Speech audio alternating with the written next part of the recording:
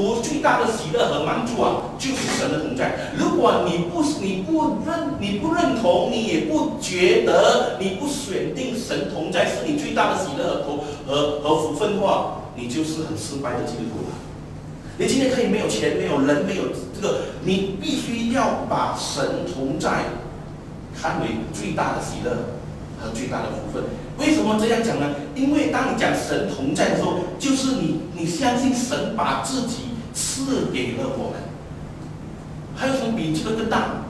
神把自己交付了给我们，他不给你钱，他不给你福气吧，他不给你喜乐，他把自己交给你的时候。没有这个比任何更大。相反的，如果你失去了一切，为主的缘故，所有都消失了了，都损失了了。为要得到基督的时候，你内心仍要被圣灵充满，然后从从中得到喜乐和满足。就好像保罗所讲的说的，保罗讲的一切话，他说：“我为他耶稣基督已经丢弃万事。”看作粪土，为要赢得基督。我们今天活在社会里面的今天的呃城市人，讲这句话是很难的，有挑战。是啊，因为你有车有房，你有工作，你有你的，你有你的房租可以收。你和你有你的产业，当讲经过的时候，你到底你明白在讲什么吗？我还有我的 iPhone，还有我的 Note Two、Note Three，还有还有我的兴趣，我每我每一个礼拜一定要去脚踢脚踏踏脚车的这些。当你在讲这些时候，你你你的身边所有的东西是有冲突的。所以保罗讲这句话不是。开玩笑讲，也不是讲爽的。保罗真的是抛弃一切，看着粪土，不要得到基督。神同在，得着基督，是看你的心态和你态度，愿意放弃多少。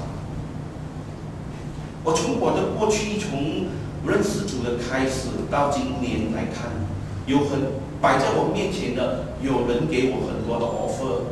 我因为要服侍主，而放弃了一些对我好的东西，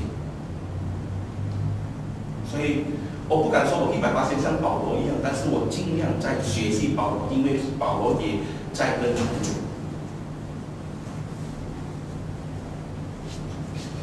兄弟们，如果你的人生也是为着主而撇下世界的话，主的喜乐要充满你。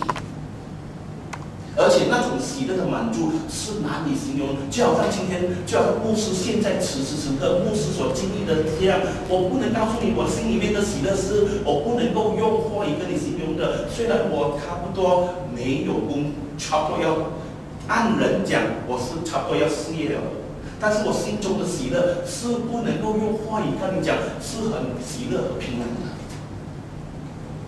神所赐给我们的福分。不只是物质上的，或者那些能够看得到的东西，神乃要将自己永恒的生命，那喜乐的源头，完全的赐给我们。所以，对每一个基督徒来说，最大的福分是神的同在。阿门。所以，我要你调下你的态度第三